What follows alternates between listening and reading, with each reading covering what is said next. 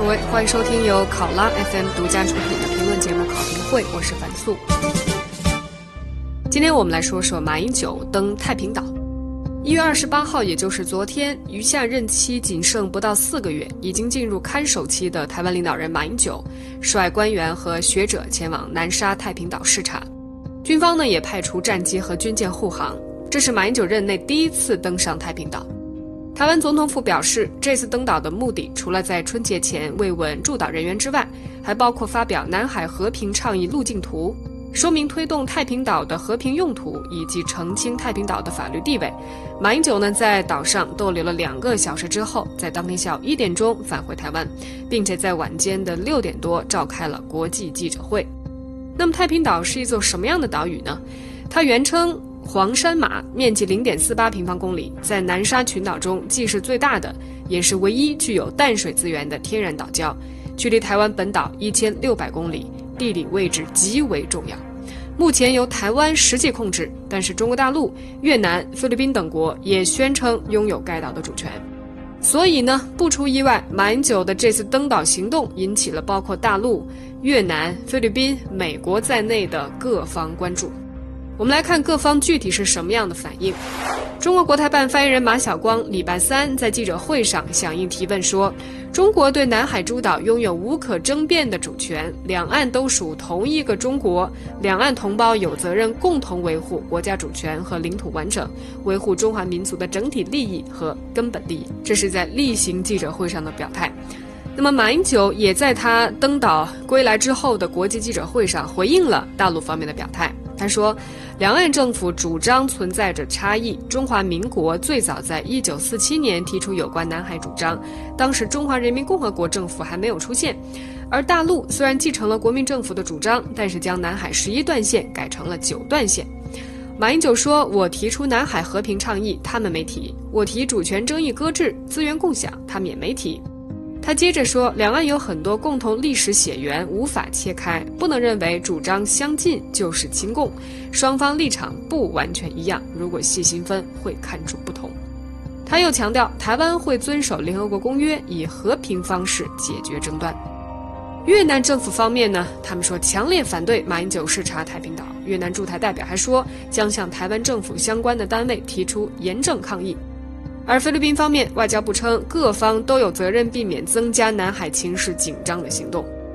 而台湾最有力的盟友美国在礼拜三也表示，对马英九的登岛计划感到失望，并说此举极度无益，对解决南海争议毫无帮助。那么，马英九在国际记者会上也响应了美方的批评。他说：“我在几天前就通知美方登岛事宜。对于美方认为他登岛会把紧张关系提高，他表示这一点我倒看不出来，因为我并非在那里叫嚣，而是希望把太平岛打造成和平救难之岛。他认为美方担心的事情不会发生，他和美方大方向是一致的。”值得注意的是，马英九原本邀请了总统当选人蔡英文派员随行，可是呢，民进党拒绝了。民进党主席蔡英文昨天上午呢，也重申和平方式处理南海争议。但是记者询问他就任总统之后会不会登太平岛，蔡英文并没有回应。他指出，对于南海争议，民进党历来立场一致，就是坚持南海主权，希望确保航行自由。相关争议要根据国际法跟海洋法公约来进行，希望整体争议以和平方式进行处理。台湾作为区域的一份子，也有责任共同维护区域的和平稳定。而民进党的立委赵天麟则发出了不一样的声音。他说：“台湾国际地位再怎么艰困，都要考虑国际社会的游戏规则。对于马英九登太平岛，民进党不接受，予以谴责。”台湾记者呢，针对这个话题，还专门采访了新当选的、将会成为台湾立法院第三大党的时代力量的主席黄国昌，也可以说是一位新兴的政治明星了。他的态度是：总统视察领土本来就天经地义，但是现在时机非常敏感，南海争议目前正在国际仲裁程序中，情况相当复杂，加上政府已经进入看守阶段，行为应该更加的谨慎，这对台湾外交关系与在亚太区域稳定上扮演的角色将产生重大问题。他认为美国可能要重新思索台湾的重要战略地位，包括如何增加台湾在国际关系上应有的国际地位。请美国朋友们重新思考，要真的把台湾当盟友，而不是棋子。好，我说了这么大段的背景，那到底为什么马英九会选择在这个时候登岛？为什么民进党又没有派人随行？太平岛到底是一座有着怎样特殊地位的岛屿？跟岛内政治和区域争议有什么样的关系和故事？那接下来，我想请大家非常熟悉的老朋友，我在台湾大选报道期间的搭档，凤凰周刊专注报道台湾新闻的记者马军来分析。我首先请教马军的就是实际问题：马英九和蔡英文到底在想些什么？为什么这时候会有这样不同的举动？马英九在这个时候，他基本上虽然说到了一一个像篮球比赛一样的垃圾时间了，但是正好是他最无牵无挂的这样的一个时刻了。实际上，在呃陈水扁的执政的最后的阶段，是二零零八年的二月二号，如果没记错的话，他也是在那个时间去了一趟太平岛。李登辉是从来没有去过，呃，陈水扁是在执政的末期去的，马英九也是在执政末期去的。这个时候，他们两个的执政包袱应该是最少的了。基本上，大家所有的关注点呢，都会放在新选出来的这个领导人的身上。陈水扁二零零八年二月二号去的时候，那个时候新的领导人还没选出来，因为我记得零八年应该是三月二十二号选举的。呃，马英九这次是选出来之后，他就马上去了，而且只是知会了美国医生，都没有得到美国的肯定或者得到美国的同意就去了，就可见这个时候他是。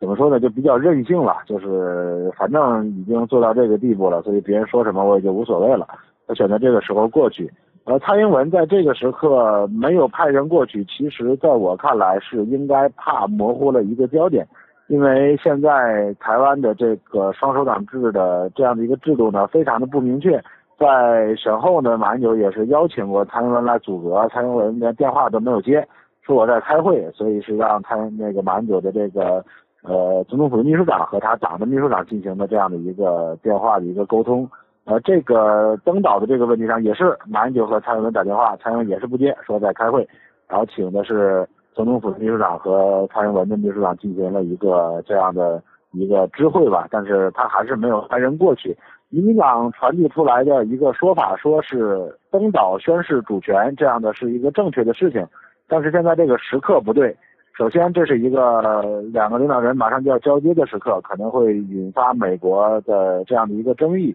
会让美国人不高兴。其次呢，现在又是一一个敏感的时刻，因为美国的国务卿克里现在在北京访问，在这样的一个时刻，马上就选择登岛呢，也让民进党对美国很很难有这样的一个交代。但是这样的一个说法，显然只是民进党的一个说辞，国民党是不承认的。国民党认为，那这样的话，那蔡英文可以说任何时刻都不是正确的时刻。那我们这样的一个正确的事情都不做了嘛？甚至还说说，如果蔡英文你在二零一六年要二二零二四年，如果你要下来的时候，你轮到你登岛了，你能说是一个不正确的时刻吗？所以现在来看呢，因为台湾是在呃中美台这样的一个三角的国际格局之下，它是两大之间难为小嘛。马英九过来登岛，被认为是一个亲近中国大陆的这样的一个决，是这样的一个决定。那民进党显然是站在美国那一方，这个事情美国不高兴，那民进党显然就认为这个时机是一个错的时机了。嗯，那另外哈，就是关于太平岛，它是不是在台湾的这个政治议题方面，它也是很容易去去进行操作或者炒作的一个一个题目？嗯，太平岛呃，实际上和台湾具有争议的国家是菲律宾嘛。你知道马英九在第二任刚开始的时候和菲律宾也有一个移民的那样的一个呃冲突，就菲律宾的警察就无故的就打死了台湾的移民。这件事情呢被马英九处理的还算不错，也被认为是马英九在大陆方面这个两关系搞得好，又开始他的多上的一个很大的突破。包括钓鱼岛，他和美国、他和日本签署的这个渔业协定，就是台日的这个渔业协定。这个签订之后，也被认为是他在外交上进行了一个比较好的突破。呃，不论是马英九的角度，还是民进党的角度，领导人登到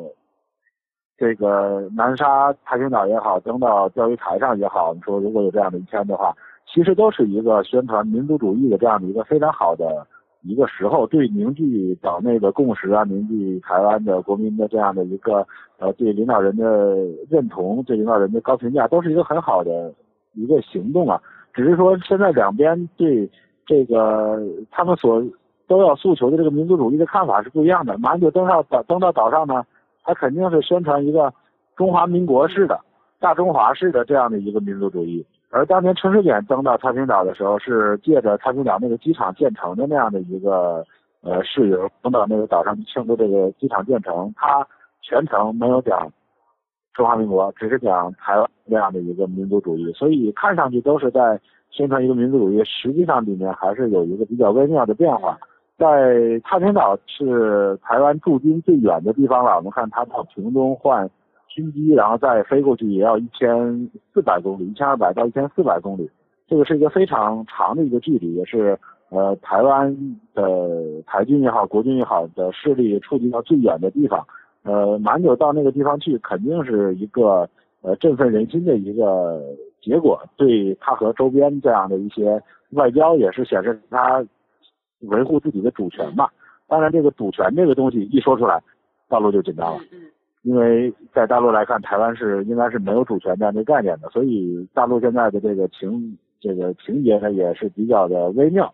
呃，一方面就是又主张说两岸来共同维护自己的主产，一方面又对台湾的所谓宣示主权的这样的一个行为感到非常非常的尴尬。所以在这个问题上，两岸一直是又合作又斗争的。当然，现在在民进党上台，台湾很有可能偏向美国的这样的一个大环境下。那就是合作的这个空间就大一点，斗争的空间就小一点。我看他从太平岛回来之后，也跟记者有一些的互动。有记者就问他说：“这次行动，你是不是在为卸任之后马习二会来铺路？”马英九他有一个回答也挺逗的，他说：“你的想象力实在是叹为观止。”他说：“这纯粹是太平岛不要被降格的问题，而且呢是说，呃，太平岛是南海一百多个岛屿中。”少数自然形成，不是填海的人工岛，它就是强调它就是一个岛屿。呃，但是为什么记者他会有这么一个联想，觉得这可能是为马歇尔会来铺路呢？其实，在台湾呃的很多媒体来看呢，马英九其实就是一个卖台集团的头子。呃，他要和习近平见面呢，肯定要送一个礼物。所以他们就会认为这样的是给中国大陆的一个礼物，其实就说明这个记者他在呃了解太平岛这件事情呢还是有一定的认知的这个缺失或者认知的误区的。这次马英九过去有两大任务，第一个呢就像韩总刚才你讲的，他要确定这个地方是一个 island，不是一个 rock，它是一个岛，不是一个岩礁，因为只有岛才有十二海里的主权，二百海里的这个专属经济权。呃，之前呢，菲律宾是在海牙国际法庭。呃，以中国大陆为被告，中华人民共和国为被告，提出了这样的一个告诉，说要确定这个岛上呢没有水，没有自产的食物，它所有的东西都是要从外面运输过来的，所以只能是一个礁，不是一个岛。呃，马英九这次过去还特别特别强调，我们看他的那个在岛上的讲话特别特别有意思，他还说我们这个地方有一个井叫五号井，这个井水呢是非常非常的好喝。井的品质呢，和那个法国的牌子依云可以是相提媲美的，还稍微表达这一点。说呢，我们在岛上呢还专门吃了丝瓜，吃了岛上养的鸡，说我们这个岛上呢是可以这个自给自足的，至少在这个食物上是可以自己生产的，所以它就是一个岛，这是它的第一个目标。然后它要维持它这个岛的这个周边的这个权益。第二个呢，它是要过去。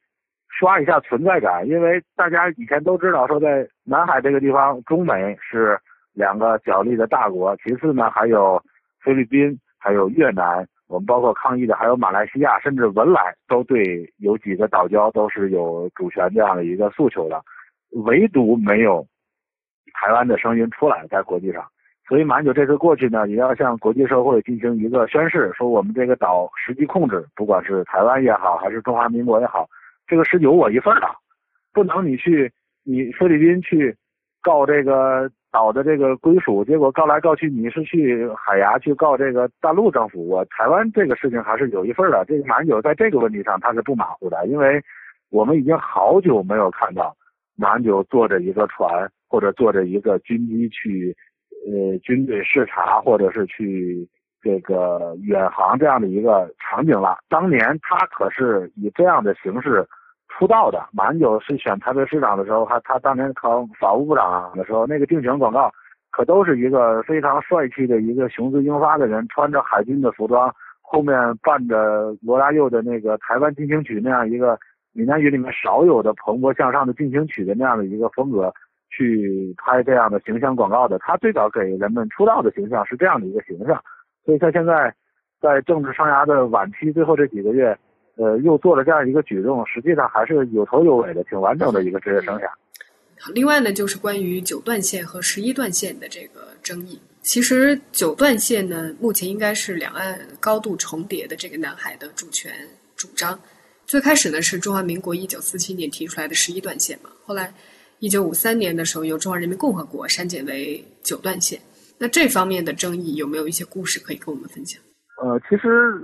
这个九段线最早是台湾，就是中华民国政府那个时候，中华民国政府还在还在南京，他们所划定出来的这样的规划的一个方法。现在在台湾呢，叫做 U 型线，就是用这样的一个理论呢，就把整个离中国大陆也好，离台湾也好非常远的这样的一个海域呢，就囊括到自己的版图里面来了，在国际上。包括这次菲律宾向国际上来提出这样的一个裁决，这个裁决如果不出意外的话，现在已经一月份，马上就要二月份，六月份的话，国际上就要给出一个裁决的，因为在国际法也好，在海洋法也好，是不承认这样的一个九段线或者是十一段线或者台湾提出来的 U 型线的。这个理论为什么两岸是有共同的合作基础呢？是因为只有海峡两岸，中国大陆和台湾承认这个说法的存在。在国际上的法律是不承认这样的说法存在的，包括美国，包括为什么这次美国很生气啊？因为包括美国、包括菲律宾、包括越南、马来西亚是不承认的。按照按照国际法的话，那些地方是非常非常复杂的一个情况。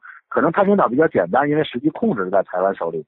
所以可能按照实际控制这样的说法来算。但是其他一些无人的岛礁，我们看到前段时间中美的舰船、飞机在呃中国南沙的一个岛礁上进行对峙，其实也是中国在上面进行开发。就是实际上要造成一个实际控制的这样的一个效果，所以在这个问题上面，按现在目前来说是有合作的呃空间，但是呃一旦涉及到主权这样的一个问题，可能就会比较就比较敏感了，而且在国际社会上，你总要讲一些国际的法律的一些说法嘛。咱们现在从中国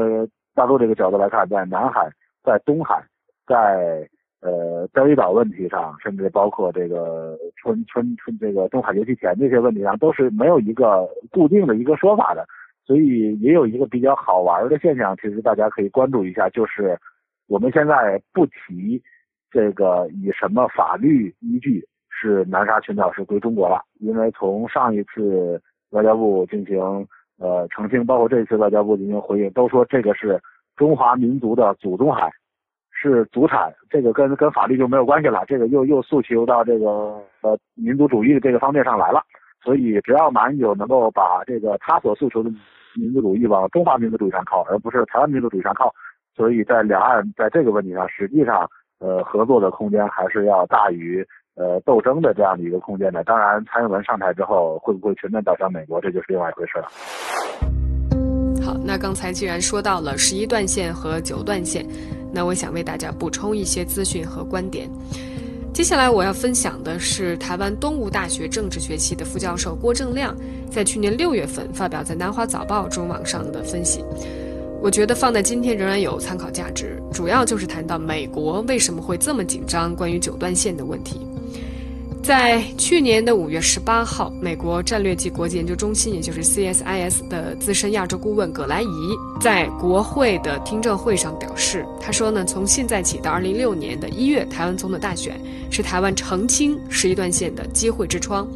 他说，美国应该持续的鼓励台湾澄清十一段线的意涵，阐明当年划设的原始原因，届时来逼北京厘清九段线的意涵。那么，为什么美国会这么肯定台湾在这个问题上可以牵制中国？郭正亮教授分析，主要有三点原因。第一个呢，就是中华民国是九段线前身，也就是十一段线的创始者。如果继承中华民国法统的台湾愿意主动放弃一九四七年的十一段线，将对中国大陆一九五三年才成立的九段线产生釜底抽薪的弱化作用。第二。一九四七到五三年，中国陷入内战，当时有关南海十一段线的海权佐证资料很多呢，都已经随着国府迁到台湾，转到台湾去了。对美国来说呢，九段线只是没有明确经纬度的历史虚线，与沿海各国二百海里主张出现大片重叠争议。如果拥有原始资料的台湾，也就是中华民国，愿意承认十一段线的量测佐证不足，缺乏原始证物的中国大陆，也就是中华人民共和国，就更加难以证明九段线的论据了。第三点，台湾至今仍然实际控制着太平岛，在扩建机场跑道和码头之后，具有极为关键的战略价值，尤其是。永暑礁距离海南岛最南端榆林港高达五百六十海里，但是距离太平岛只有大约六十海里。太平岛当然是美国监看永暑礁未来发展的最佳据点。永暑礁是什么呢？也是一个争议岛礁，目前呢是由中国大陆实际控制，也是战略价值非常高的一座人工岛。尽管美国要求台湾放弃十一段线，但是呢，台湾对此却显得很保留。毕竟呢，对台湾来说，一旦放弃了十一段线的主权，形同把中华民国的领海限缩到台澎金马，不但可能引发领土范围的宪法争议，更可能引起大陆怀疑台湾将走向两个中国。国民党的一中各表必将遭到空前的挑战。此外呢，台湾民众也可能会质疑：如果十一段线领海因为台湾政府鞭长莫及就可以放弃主权？那么以此类推，台湾根本无从管辖的中国大陆领土，岂不是更加应该放弃主权？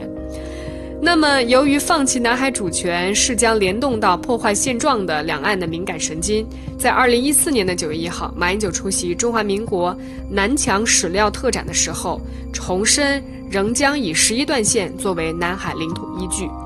即使是立场偏独的民进党主席蔡英文，在去年的五月二十九号去美国访问之前，也提早在五月二十六号针对媒体，民进党一旦二零一六年执政将放弃十一段线的传闻驳斥说。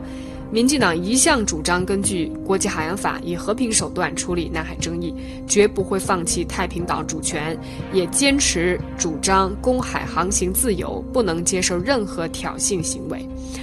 事实上，即使在民进党执政期间，陈水扁还曾在零八年二月份亲自登陆太平岛。刚才马军也跟我们讲到过，当时还引起了跟台湾友好的菲律宾的强烈抗议。不过呢。这一波美国对台湾的南海施压，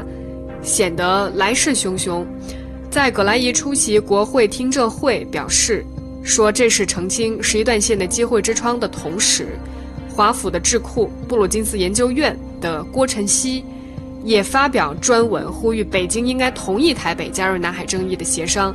除了建议台湾要依据海洋法公约厘清南海主张之外，还建议台湾可以在幕后。推动参与南海行为准则的协商。美国对台湾的这种南海施压呢，甚至还上纲到了弃台论。